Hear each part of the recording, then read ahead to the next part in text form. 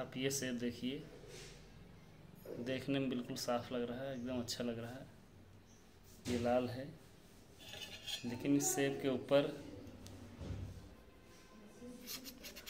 देखिए। ये देखिए, सफ़ेद सफ़ेद छूट रहा है। ये वैक्स की एक लेयर है जो इस सेब के ऊपर है।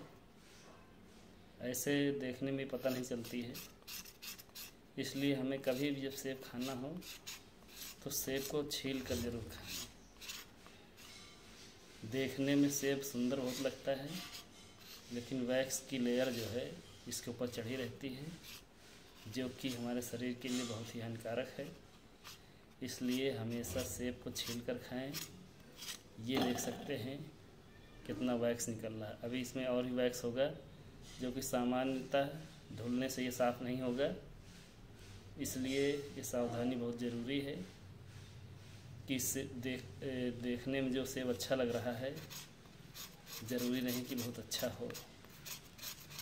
इसलिए हमको चाहिए कि हमेशा सेब को छील कर ही खाएँ।